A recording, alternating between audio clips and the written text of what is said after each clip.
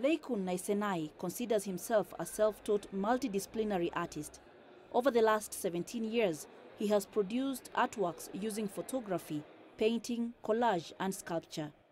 His latest collection is called The White Line Between.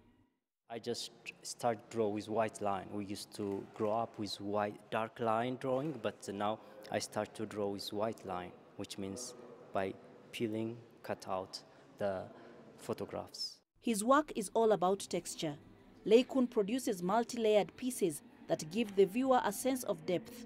It aims to stimulate creativity and imagination.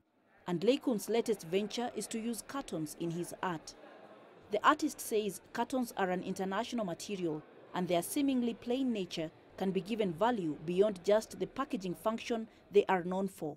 The carton first, it has a texture like uh, dry, dry texture like dry grass or earth color. So and it has layers also like uh, when you peel it has layers and textures. So that can talk, can tell my story uh, the same as a painting of many colors. But perfection is not always what he aims for.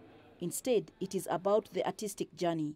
Leikun believes there are no mistakes in art, only lessons. As such, he is using his work to show that experimenting is key in creating new or even better reality. Those who have followed Leikun's creations over time appreciate the risks he takes in order to experiment. I'm sharing the studio with Leikun. Is always I'm seeing he's trying to experimental with photograph with peeling. So it is amazing for me. Day to day, I need. I see a lot of techniques. I've, I've seen him for like 10 years, more than 10 years. I've seen his artwork. So he do cartoons, uh, uh, cartoon board, and he peeled that board. Uh, he peeled the photography. He take photography. You know, he he play with light.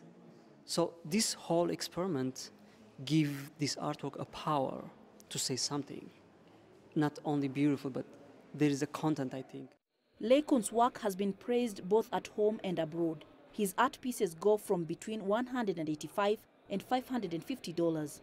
His inspiration, meanwhile, comes from a sudden desire to make the unthinkable work, which is why he can't predict what he will be working on next.